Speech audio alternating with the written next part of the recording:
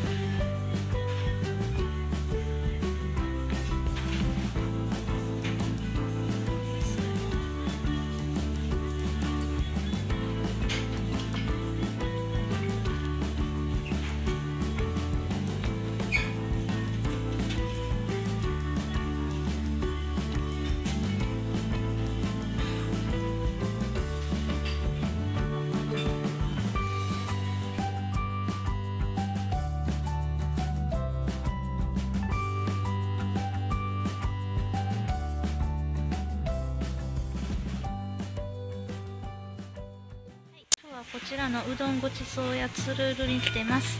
ランチパスポートのメニューは牛ステーキ丼竹791円が540円になります。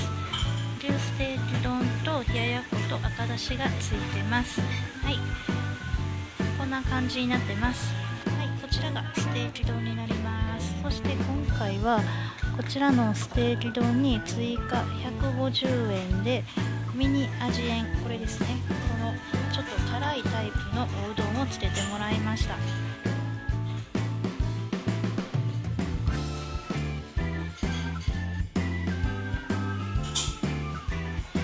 こちらお肉ねすごいたくさん乗ってます。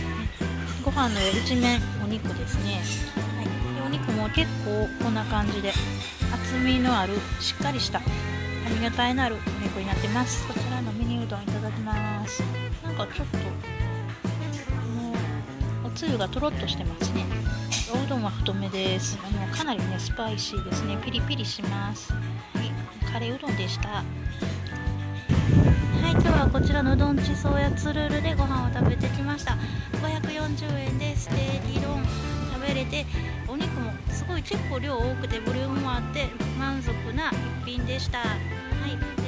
すごいねメニュー面白いのがいっぱいあってお得だなって感じるようななんかすごい安いねセットがいっぱいあったんでまた普段も食べに行きたいなと思いました